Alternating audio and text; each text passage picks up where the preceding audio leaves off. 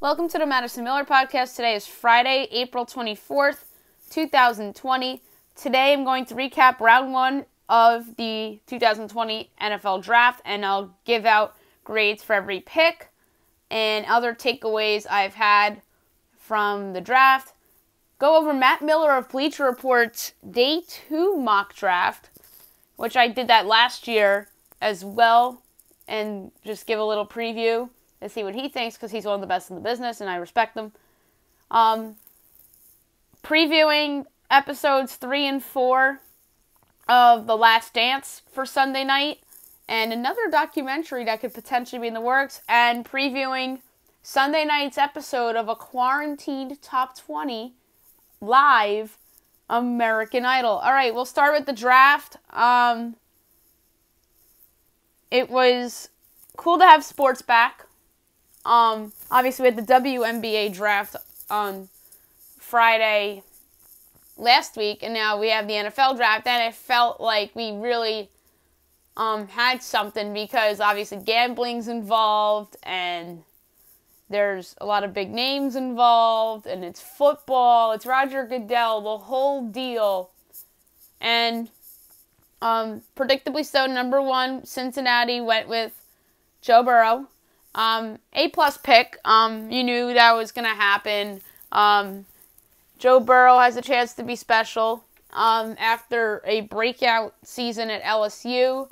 Um, and I think Cincinnati has their guy for a while here. Um, number two, Washington took Chase Young. I give that grade an A plus as well. He was the best player in the draft. If you get the best player in the draft, you automatically get an A plus, regardless of need or whatever. And that was what Washington did with Chase Young. They were not trading that pick. They were never trading that pick. And Chase Young was the guy the whole way. And that guy's going to be a sack machine in the NFL. Third, Detroit took Jeff Okudah, the corner from Ohio State. Um, there was a need. They lost uh, Darius Slay in the offseason. A lot of people feel that they should have gone with Derrick Brown, the tackle from Auburn, due to the fact that they literally have no pass rush. But they went best player available, and that was Jeff Okudah. You get an A plus Detroit. Um, number four, the New York Football Giants go with the surprising selection of Andrew Thomas, the offensive tackle from Georgia after many thought it was going to be Jedrick Wills or Tristan Wirfs. I give that pick a B. I just feel like Wirfs and Wills were better. Um, Andrew Thomas, of course, fills a need. He'll be playing left tackle. Maybe they move Nate Solder to right, or they cut Nate Solder, or um, they put Andrew Thomas at right and keep Nate Solder at left. So their offensive line is better today than it was 24 hours ago. Um, so I give this pick a solid B, and it's funny because Andrew Thomas was actually my number one offensive tackle um, in the fall, and then Wills and Wirfs supplanted him, in my opinion, and um, uh, and that was nothing to do with Thomas really. It was more to do with that those guys really came onto the scenes. Although Thomas does have some flaws, but not a lot of flaws, they're fixable. So, a solid B pick for the New York football Giants. Five, the Miami Dolphins um, proved that those were all smoke screens, and they take Tua Tagovailoa, the quarterback from Alabama. They get an A plus. They got the guy they wanted the whole time. Um, I said yesterday that Miami would be Tua's best fit. It just makes a lot of sense. Um, they got their guy that everyone thought that they were going to get a year ago. And they better hope he's healthy. And this is an A plus pick because they got their guy and the guy they wanted. And I think if he is healthy, he'll be very, very good. The Chargers at six go with Justin Herbert, the quarterback from Oregon. I give the pick a B.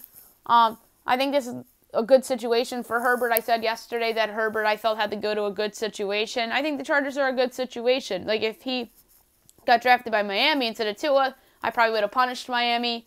If he got drafted by Jacksonville, I probably would have punished Jacksonville. if he was drafted some other random team that needed a quarterback, like the Raiders, like for long term potentially, or New Orleans, then maybe maybe New Orleans I wouldn't have um, punished them that bad, but uh, Las Vegas would have been very strange. Um, so Chargers gonna be um Herbert might not be great right away, but um I won't be shocked if he exceeds some expectations because of the talent around him. So the Chargers get a B.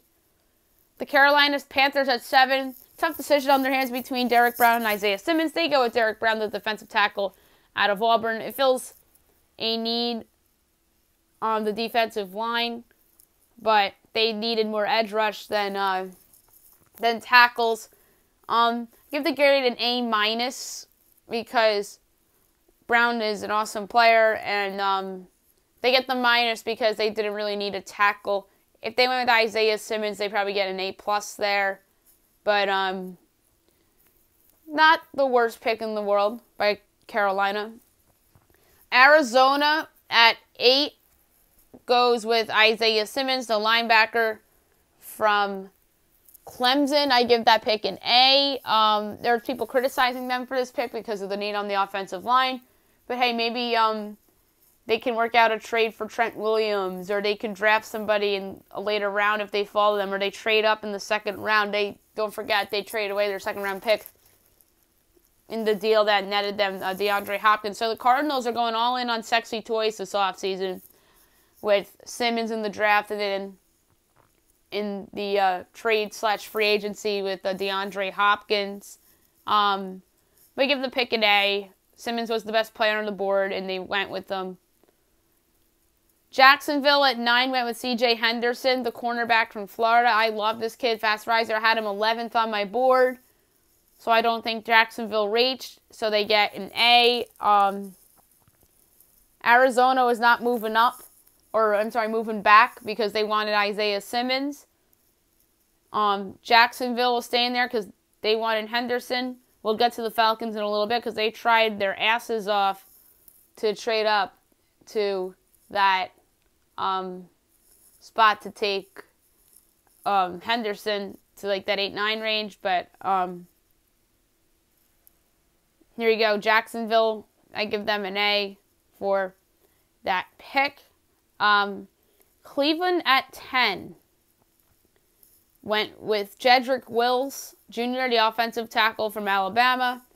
Great prospect falls to them. If they get an A plus, they filled an important need on the offensive line. So their offensive line is miles better than it was a year ago, and it's put up or shut up for Baker Mayfield in Cleveland. Um, 11 with the Jets go with Mekhi Becton, the offensive tackle from Louisville. Um, I give the pick a B minus. I thought that they had the their choice of wide receiver or offensive tackle. Um, as far as I'm concerned, they loved Becton, but my issue with the with them and the reason why they got a B minus is because there was a better player in Tristan Wirfs on the board. If they chose him, they would have gotten an A plus. But no, they took the guy that failed the drug test in Mekhi Becton, so they get a B minus. I didn't punish them that much because offensive tackle is an important need for them. So they get a B minus. Um, the Las Vegas Raiders at 12 go with Henry Ruggs III from Alabama, the wideout. They get an A. I thought this was a need pick. Um, you couldn't go wrong with any of the three, in my opinion. But they would have gotten the plus if it was Jerry Jeudy or CeeDee Lamb. That's probably what cost them the plus here. Um, so they fill an important need with wide receiver. Um, this was the, the, classic Al Davis pick. So um, I'm sure he was um, smiling from up above. And um, he would c- come in, help Derek Carr. So, not a bad pick from the Raiders. I'm not going to criticize them for passing on a Jerry Jeudy, although it could come back to bite them. You never know. Um, 13, Tampa Bay from San Francisco. Tristan Wirfs, offensive tackle, Iowa. They traded up from 14. They get an A plus. Um, it's funny because I predicted on my draft preview show that Tristan Wirfs would fall, but I didn't have him falling this far. I had him falling the 10 and Tampa trading up to get Tristan Wirfs, thinking that the Jets ha- was going to get him at 11. But no, they trade up one spot to get him. Maybe they thought that um, they're fearing that San Francisco was going to take him at 13 or um, Denver at 15. So they moved up to get him. Um, so that was one of my hits of the draft that Tampa would move up for Tristan Wirfs, but not at the right spot. But anyway, much needed protection for Tom Brady, and this pick gets an A plus. San Francisco from Tampa Bay at 14 goes with Javon Kinlaw, the defensive tackle from South Carolina. There's people that were not happy with this selection because they didn't go with the wide receiver. This was a need pick because they obviously lost DeForest Buckner in the trade and they replaced him with the pick they got and they get an A. So um A is my grade because that was a need pick. Um I think Kinlaw is going to be really good. Um I think he is the second best defensive tackle in the draft behind Derrick Brown. Um so very very solid by San Francisco. Um, 15 Denver Broncos Jerry Jeudy, wide receiver Alabama they get an A plus best receiver in the draft falls to them at 15. I'm surprised that Oakland or Las Vegas went with Ruggs instead of Jeudy because I thought Jeudy screamed Raiders. But John Elway, you saw the clip of him before Goodell made the announcement of the pick. Like he was just sit chilling and saying, "Yeah, I got the best receiver in the draft." So good job on John Elway. He didn't have to move up to get him. Um, so you have Jeudy, you have Ruggs, or I'm sorry, um, I'm thinking of Alabama here, saying Ruggs instead of Courtland Sutton. And with Drew Lock, I think that that could be one of the more improved offenses in the league next season. 16 Atlanta goes with AJ Terrell, the cornerback from Clemson. I think that this was a reach. I gave it a C plus. Um, Terrell, um, I saw some people mocked Terrell to Atlanta and I thought he'd go between like 19 and second round was his range.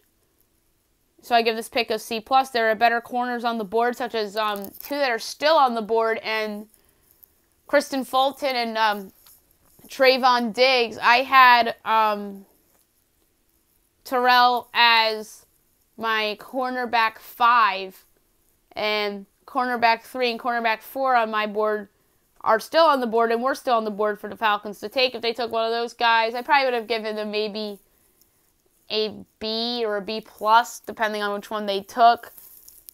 But they reach for Terrell and get a C plus. The Dallas Cowboys get one of the biggest deals of the first round, CeeDee Lamb, wide receiver, Oklahoma. No one had CeeDee Lamb The Dallas. They get an A plus this is a situation where Dallas um, said, screw the needs. We, we're going with best player available. This is exception to the rule for that because CeeDee Lamb was clearly the best player available. I thought he could have gone as high as nine to Jacksonville. I thought his floor was 15 to Denver. But no. And it's funny because I said yesterday on the show that CeeDee Lamb over 12 and a half was plus 200. It might have been like plus 205 and I said that was valuable and I just never thought of it because I thought that the Jets were going to take him at 11. But no, um, Jerry Jones gets a big steal. You know Jerry Jones loves selecting sexy toys in the draft and they took one here with Jerry Jeudy or I'm sorry, with CeeDee Lamb, and they get an A plus.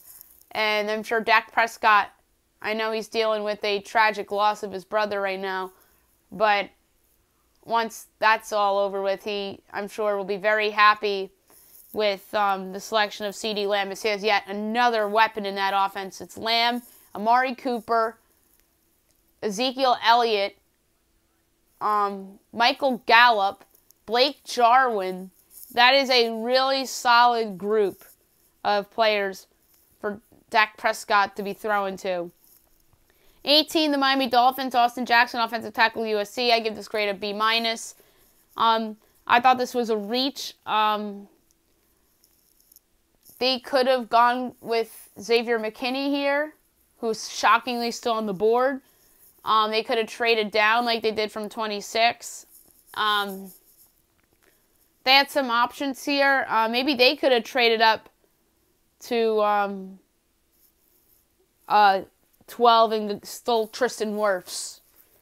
Um, so I give this grade a B minus. I think Austin Jackson has a chance to be very good, but I just think that at 18, it's a reach. 19, the Las Vegas Raiders go with Damon Arnette, the cornerback of Ohio State. This was the worst pick of the first round easily. This gets a D. There were better cornerbacks on the board, such as Kristian Fulton and Trevon Diggs. And no, Oakland reaches and gets Damon Arnette.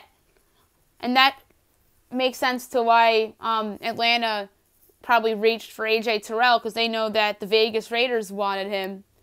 And then Vegas had to reach for Arnette, who was number 58 on my big board as a day two grade, cornerback 10. This is a deep cornerback class. Um, yeah, Terrell is my CB5. Jaylon Johnson um, would have been a reach too because all the talk was the Minnesota loved, and we'll get the Minnesota in a little while. Um, but yeah, there were better players on the board. Patrick Queen would have been fine at that spot. Um, even McKinney or Grant Delpit would have been fine. Obviously, Kristian Fulton and uh, Trevon Diggs were still on the board for them. But no, they go with Damon Arnette. So that pick gets a D. The Jacksonville Jaguars at pick number 20 go with K'Lavon Chaisson, the edge rusher from LSU. I give this pick an A. Um, they have a um, potential need there because they're going to trade Yannick Ngakoue eventually. So, um, why not replace him? Um, and obviously, uh, Lamb fell to Dallas. And if Lamb didn't fall to Dallas, let's say Atlanta takes him at 16, that would have been a great pick for Atlanta. If they had Lamb, Ridley, and obviously Julio Jones, that would have been a loaded offense as well. And then Dallas probably would have taken K'Lavon Chaisson at 17 if Atlanta went with CeeDee Lamb, or if San Francisco went with CeeDee Lamb.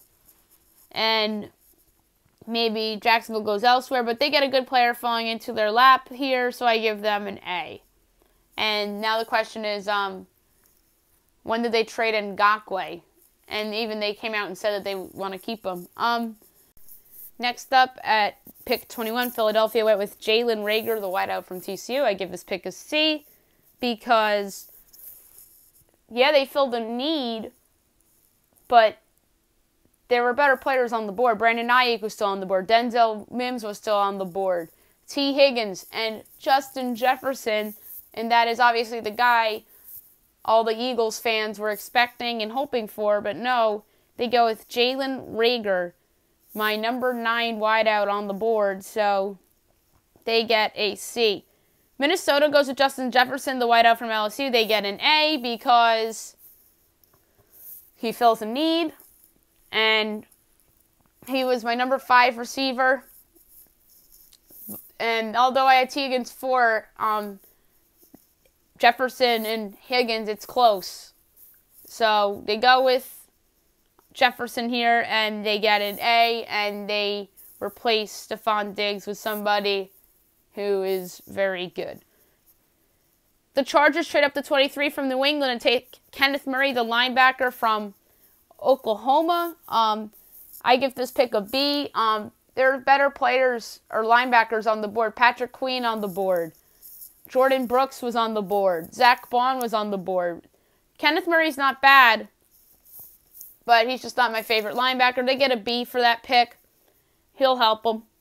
Um, 24, the Saints, they go with Cesar Ruiz, the interior offensive lineman from Michigan. I give this pick a B plus. This was one of the more surprising picks of the first round. The Saints did not have a need on the offensive line, but they choose to go in that direction. Um, I wonder if they're gonna trade somebody that's on their offensive line. They have two. Um, they have a really good tackle in um, Ryan Ramczyk. Andrus Peat is not what the Saints thought he was, although they paid him. But um, yeah, um, I give them the benefit of the doubt. He's a good player. He'll help them, so I give that pick a B plus. Green Bay from Miami, or yeah, Miami. Um, no, wait, no, I skipped one. I'm sorry. Um, San Francisco from Minnesota takes Brandon Aiyuk, the wideout from Arizona State. I give the pick an A minus. Um, fills a need. Um, he'll help Jimmy Garoppolo in that offense. Um, they get a minus because there's a couple other better wide receivers on the board, in my opinion. Brandon Aiyuk was, I believe, my seventh ranked wide receiver. Yes, seventh. Behind Denzel Mims, who I consider about close to even. And then obviously T. Higgins. So they get an A minus. So I mean, that's a pretty good pick. Um, Green Bay from Miami at 26 goes with Jordan Love, the quarterback from Utah State. Stunning pick, in my opinion. I know there were rumors about this, but I didn't buy it. I thought it was a smokescreen, but it turned out to be real. I just pick a C minus. Um, I thought about giving it a D, but it gets a C minus because um, Jordan Love, I think, does have some potential, and maybe he'll be in the Aaron Rodgers situation from a couple of years ago, or not a couple of years ago, I should say over a decade ago. And obviously, I think um, Rodgers um, is somebody that is going to go to the Hall of Fame. I do not think that about Jordan Love. But who knows? Maybe um, Rodgers gets injured. Like he's gotten injured a lot throughout the last couple of seasons, and then Love gets some playing time, and maybe um, he shows some promise or something, and maybe they trade him or who knows. Um, but I give that pick a C minus because it sort of benefited the doubt as well. Seattle at 27 takes Jordyn Brooks, the linebacker from Texas Tech. That's an A pick for me. Um, Seattle really didn't need a linebacker, but um, Jordyn Brooks is somebody that um, was one of the better players on the board. Um, if Seattle took Patrick Queen, maybe I would have given them an A plus, but they go with the second best linebacker left on the board in Jordyn Brooks. I give them an A. He's gotten comped to Bobby Wagner, which that's probably what Seattle heard, and maybe they took him because of that. Um, Baltimore 28 took Patrick Queen, the linebacker from LSU. They get an A plus, best player on the board, or one of the best players on the board. They snag at 28 with their biggest need. I thought that um, there's a chance that they'd pick him and trade up for him, but they didn't do that. It was the Chargers that moved up to that spot and took Kenneth Murray ahead of the Saints. So Baltimore gets an A pick for A plus for their pick, and he will certainly help them. Tennessee at 29 goes with Isaiah Wilson, the tackle from Georgia. I give this pick a B minus. There were better linemen on the board, such as Ezra Cleveland and Josh Jones. But this was an important need because Jack Conklin left in free agency. So I give them a B minus. 30 Miami Dolphins go with Noah Igbinoghene, the corner from Auburn. I give that pick a C minus. Um, there are obviously a couple better corners on the board. Um, or Igbinoghene, I had as my seventh cornerback.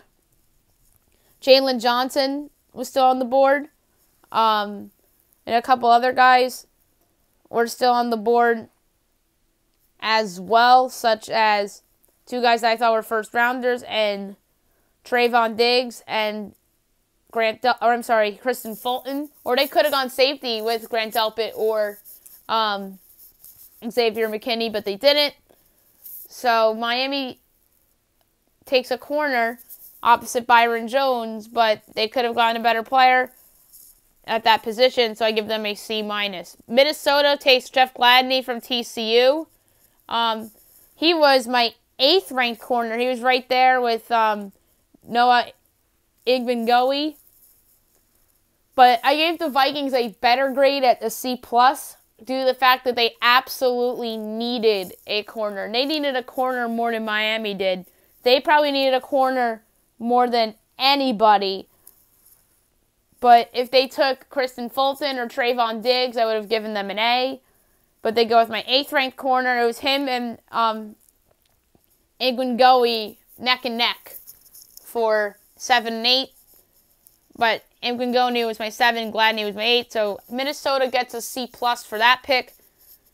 32, Kansas City goes with Clyde Edwards Helaire, the running back from LSU. Um, this pick surprised some folks. There was um, a prop bet of um, 5 to 1 for him to be the first running back off the board after it was 12 to 1 a week ago. I talked about it on the preview draft podcast yesterday that Clyde Edwards Helaire had value at first running back picked.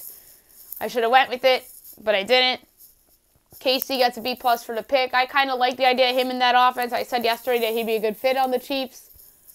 So they snagged him here at the end of the first round. Um, B plus because I felt that they had to address needs on their defense more important than their offense. That's the only reason why they get a B plus.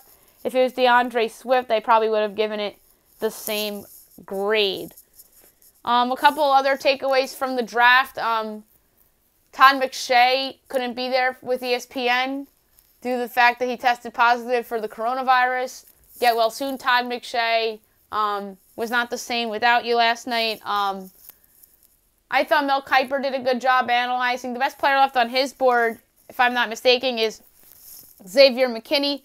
The best player left on my board is Kristian Fulton and one spot ahead of Chris or Xavier McKinney, and then Grant Delpit 18, T. Higgins was 19. So players 16 through 19 on my big board are still there, and player 22 with Trevon Diggs is still there as well. So five first round talent players are still there. So if you do the math, 32 minus 5, um, that or my bad, um, minus 10 because I had, or 26. So 26 first round worthy players, and there's five of them left. So 21 first round worthy players went, and then 32 minus 21 is 11. So 11 teams took um, round two players. Nobody took round three players, which is uh, good. The closest thing, though, was obviously the Raiders with um, the cornerback um, Damon Arnette. Um, now I want to go over Matt Miller's day two mock draft. Um, I did this last year on the show, and I'm gonna do it again and see um, what he's thinking and what he's hearing, and see whether I like it or not. All right. Um, so round two, Bengals at 32. Zack Baun, linebacker, Wisconsin. That would be a great pick for Cincinnati. That is a huge need there. The Colts via Washington, Jalen Hurts, quarterback Oklahoma. That would be a bad pick in my opinion because they need some help on the defensive side of the ball and they could use a wide receiver. The Lions go with Ross Blacklock of TCU. That would be solid for them. Um, Giants at 36 go with the uh, interior lineman Lloyd Cushenberry of LSU. That wouldn't be bad um, to fix their offensive line, but I think they should go defense with that pick. But I personally think they should trade down tonight if they have a chance, so you can get potentially a third round pick. Patriots get the Chargers pick. Yetur Gross-Matos of Penn State. That wouldn't be bad. I had him as a round two pick, so whomever takes him tonight will get a good grade depending on um, where he goes and who has the need. Panthers go with Matt Hennessy of Temple. Did Hennessy play for Matt Rhule at Temple? I don't think so, because Rhule was at Baylor. Um, I think it was 16, 17, 18, and 19. So, um, yeah, Matt Hennessy, I don't think, uh, or no, 17, 18, 19. Maybe Matt Hennessy's freshman year was coached by Rhule. So that would be a fun subplot if uh, Matt Hennessy was drafted by Carolina. Dolphins, D'Andre Swift, that'd be good. Texans via Arizona, Denzel Mims. I think Denzel Mims to the Panthers is very realistic. Um, Mims going here would be um, pretty funny because obviously um, he's a downgrade from DeAndre Hopkins, although he's good. Browns, Antoine Winfield Jr. from Minnesota, that'd be solid. Jaguars at 42 go T. Higgins from Clemson, that'd be great. Bears from the Raiders at 43, Kristian Fulton of LSU, that would be a steal. 44 Colts, Josh Jones from Houston, that would be a steal. Buccaneers at 45, Xavier McKinney of Bama. Would not be floored if one of those talented players falls to the Bucks. It's just their luck.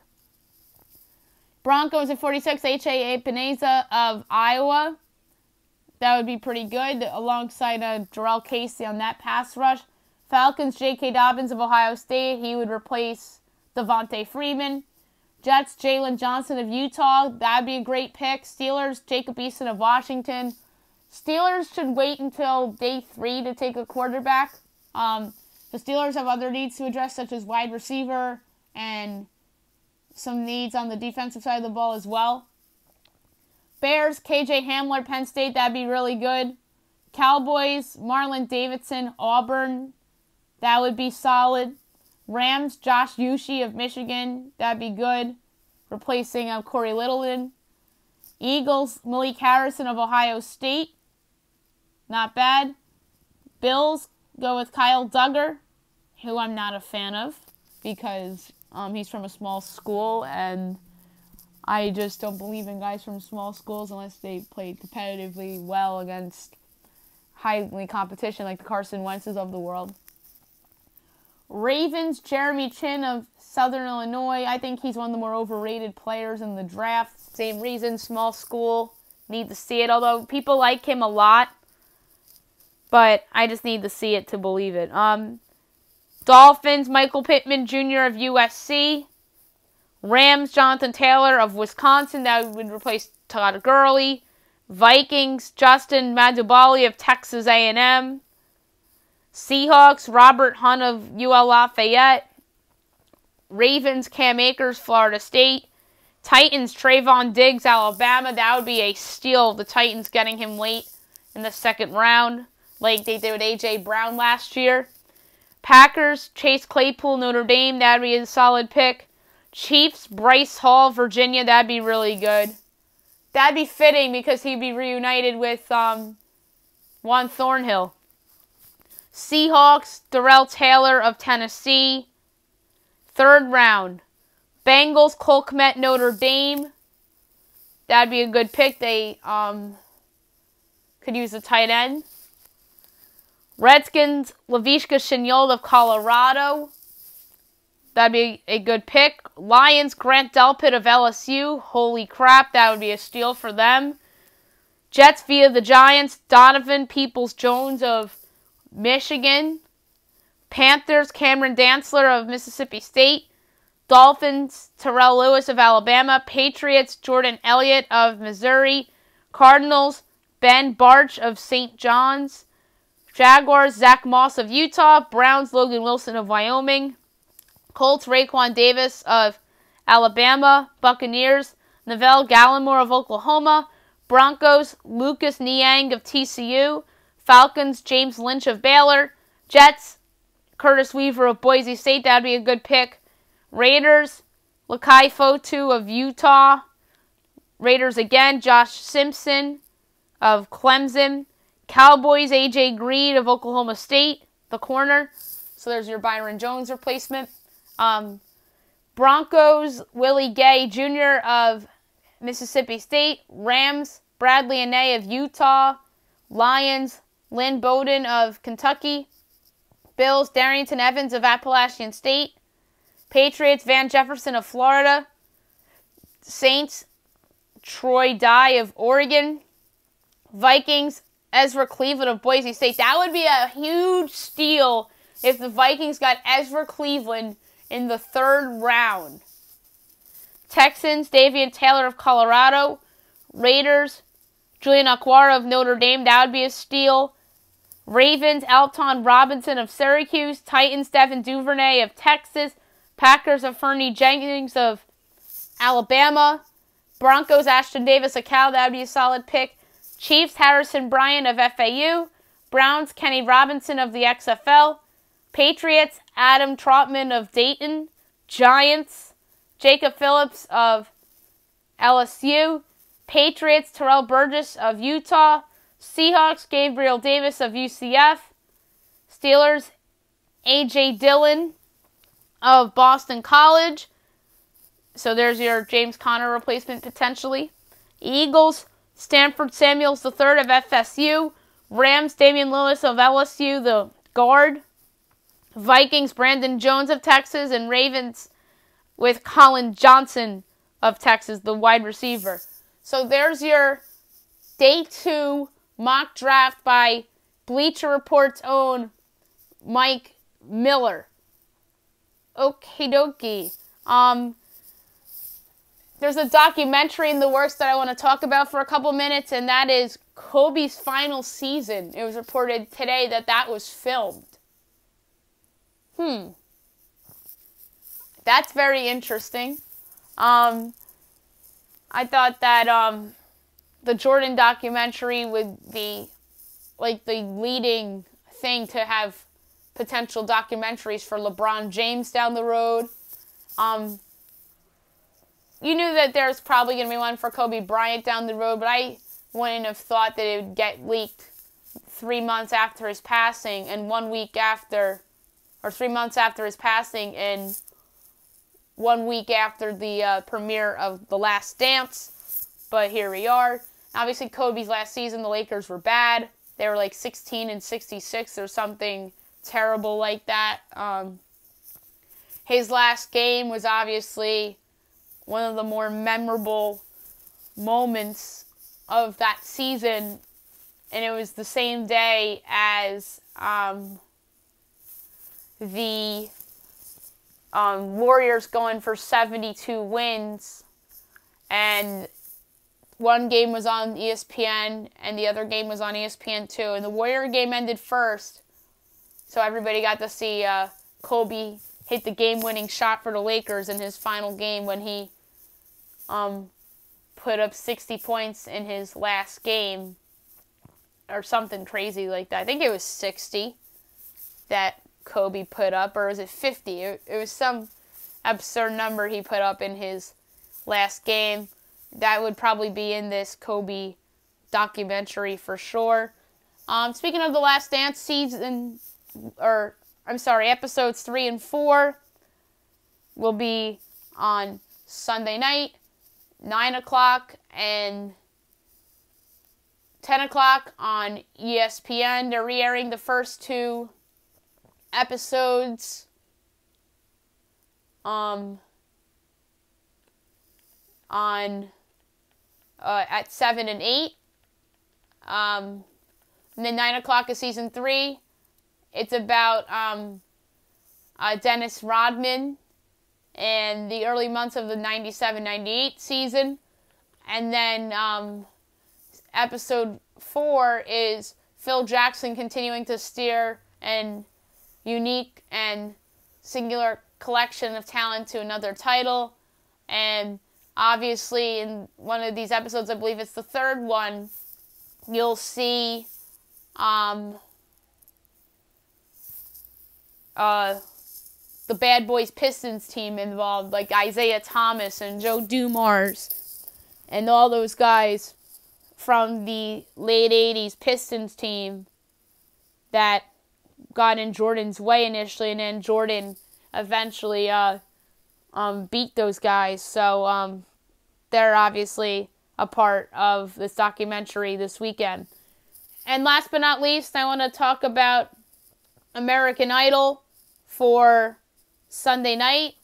Um, they are doing a quarantine virtual top 20 performances, and America's going to vote for the top 10. And it's all live. You'll see Aliana Jester, Arthur Gunn, Cyniah Elise, Dewayne Crocker Jr., Dillon James, Faith Becnel, Francisco Martin, Franklin Boone, Grace Leer, and obviously Grace was the last person picked because um, it was between her and um, the other girl, blanking on her name. Um, Jonny West, Jovin Webb, Julia Gargano, Just Sam, Kimmy Gabriela, Lauren Spencer Smith, Louis Knight, Makayla Phillips, Nick Merico, Olivia Ximines, and Sophia Wackerman. That is a great group of 20. Um, I think Sophia Wackerman's the most talented singer of the group. Just Sam, I think, has a shot as well. I really am a fan of Louis Knight as well. Um, Dewayne Crocker Jr. is really good. Arthur Gunn's talented. Dillon James is very good. There's a lot of good people in this group, and um, I'm obviously going to talk about the episode on Monday's show and what everybody's saying. I wonder if they're going to go um, girls and then boys, but it's a two hour show, so I wonder if they're going to squeeze all 20 performances in there, and then they're going to have America vote, and you'll have your results on next week's show, I guess, unless they do um, a two parter and then um, meaning part one this week, part two next week, and then um, they have a Monday show for the votes. So um, I wonder how they're going to do this, and we'll recap it all on Monday's show, as well as the rest of the draft. Although I'm going to do a separate draft podcast recapping the entire draft or draft and giving um, teams grades on their drafts and whatnot. So I hope you guys have a great, great weekend, everyone.